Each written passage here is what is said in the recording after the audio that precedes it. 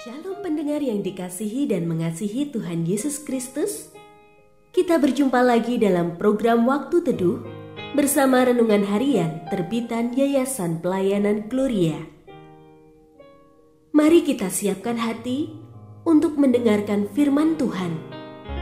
Izinkan roh Allah memberikan kita hikmat agar kita dapat semakin mengenal, mengasihi, dan memuliakan Tuhan setiap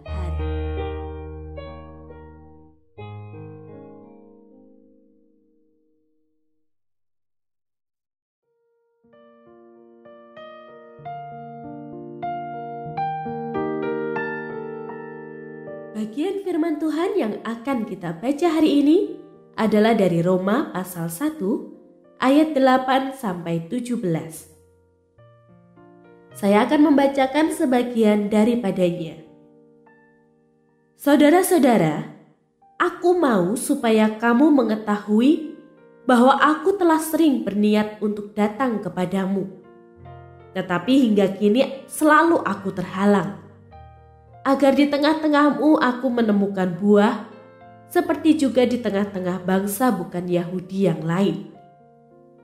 Aku berutang baik kepada orang Yunani maupun kepada bangsa-bangsa lain, baik kepada orang terpelajar maupun kepada orang tidak terpelajar. Itulah sebabnya aku ingin untuk memberitakan Injil kepada kamu juga yang diam di Roma.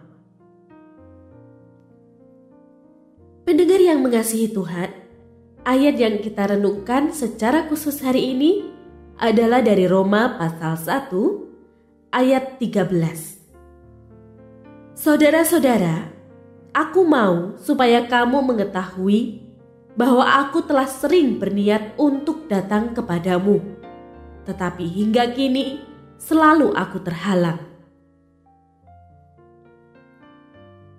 Renungan hari ini berjudul mencari cara lain. Apakah Anda pernah berniat melakukan tindakan kebaikan kepada seseorang, namun tidak pernah terwujud pada akhirnya? Saya pernah, bahkan mungkin beberapa kali. Dan biasanya hal itu akan berakhir dengan penyesalan dan rasa bersalah. Meniatkan kebaikan sebenarnya hal yang mulia namun jika tidak terwujud, maka itu akan sia-sia belaka. Tidak ada artinya. Mengapa sebuah niat baik tidak pernah terwujud? Barangkali kita tidak bersungguh-sungguh dalam mengupayakannya. Bisa saja memang terhambat oleh berbagai alasan, seperti kesibukan atau pekerjaan lain yang menyita lebih banyak perhatian.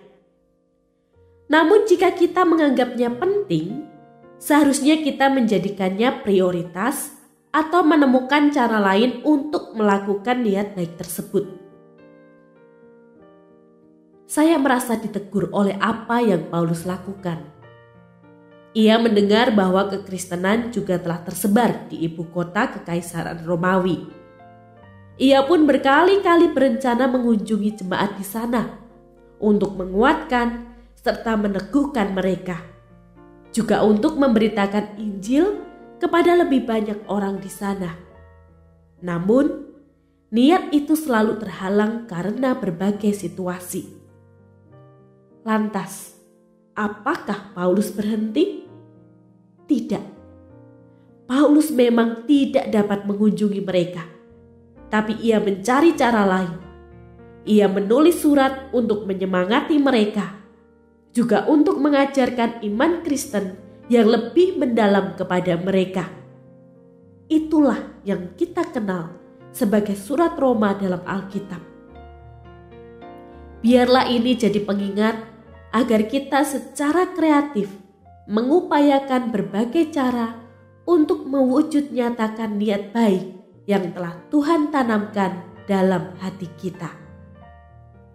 Seberapapun baiknya niat seseorang, jika tidak dibarengi dengan aksi nyata, hanya akan berakhir dengan kesia-siaan.